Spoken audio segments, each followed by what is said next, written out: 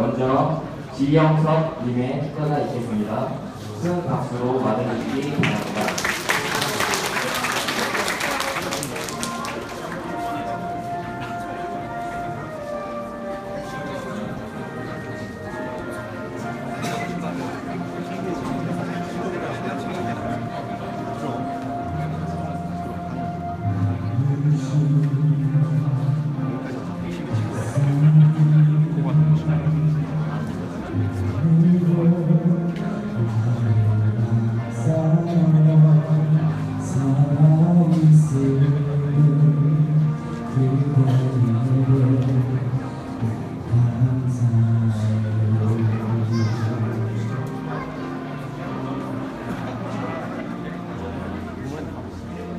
说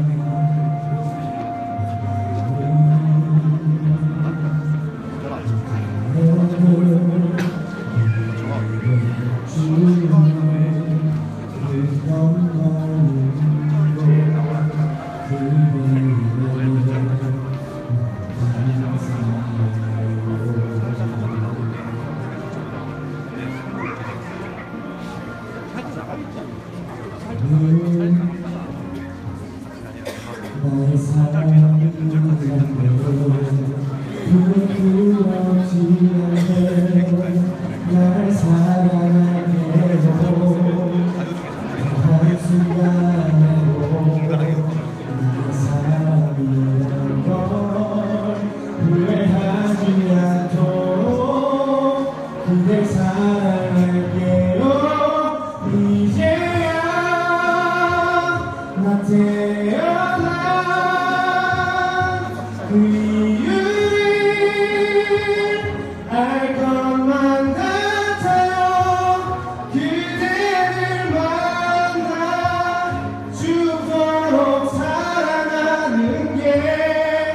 누군가 주신 나의